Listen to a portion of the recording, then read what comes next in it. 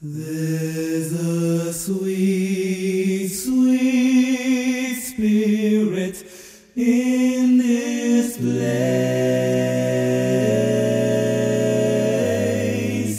and I know that it's the spirit of the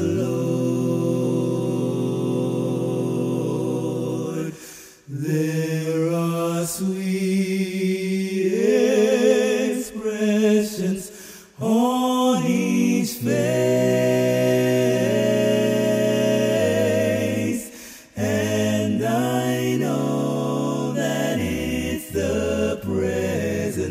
of the Lord.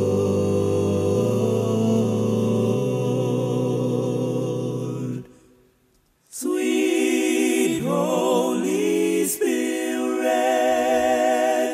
sweet